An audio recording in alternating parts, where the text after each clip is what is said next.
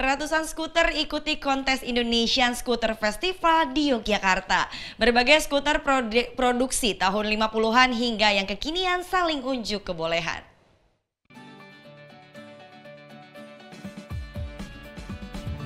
Helicak, Lambretta, hingga Vespa dengan ukiran kayu.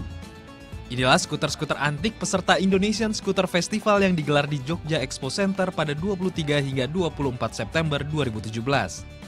Berbagai skuter produksi tahun 50-an hingga yang kekinian semua bisa diadu.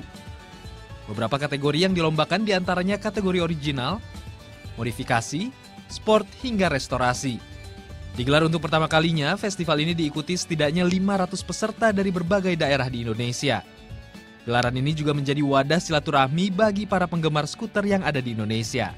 silaturahmi ya. Jelas. Yang kedua kita mempersolid eh, mempererat tali pers- persaudaraan untuk skuteris seluruh Indonesia. Ketiga kita edukasi mas.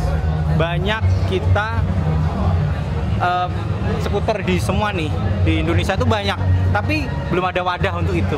Kita kasih wadah ini jadi adakan festival akhirnya beberapa skuter nih di Indonesia memang banyak gitu loh ya. Ya kita wadahnya dikasih wadah ISF itu. Bagi penggemar skuter, kendaraan yang satu ini bukan sekedar motor, namun juga menjadi kebanggaan tersendiri. bawaannya hati nggak bisa motor kencang motor baru emang banyak tapi rasa yang bikin beda motor sekarang belum tentu 20 tahun ke depannya sekarang masih bisa layak nyampe sini nyampe Jogja Selain kontes skuter, gelaran ini juga menghadirkan berbagai hiburan musik, bazar spare part skuter, hingga merchandise. Selamat Lestioro melaporkan untuk NET.